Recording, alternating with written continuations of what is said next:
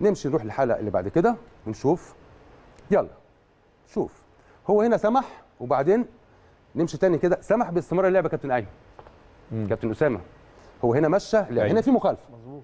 مخالفة موجودة. ولكن هنمشي شوية هنمشي لقى ان هي كرة راحت النادي الأهلي وبعدين اتنقلت هنا لقى إن هنا الفرصة ما هيش هتفيد اللاعب اللي تم ارتكاب ضده الخطأ. رجع واحتسب المخالفة من آه، من آه، ورا وبالتالي هنا كان القرار قرار صحيح باحتساب المخالفة من الخلف. يلا نروح للحالة اللي بعد كده ونشوف. نفس الشيء الشحات تم مسكه هنا وبالتالي هنا أتاح الفرصة ورجع احتسب المخالفة. ده المبدأ اللي إحنا بنتكلم فيه اللي هو مبدأ تطبيق إتاحة الفرصة ومفهومها الصحيح للحكم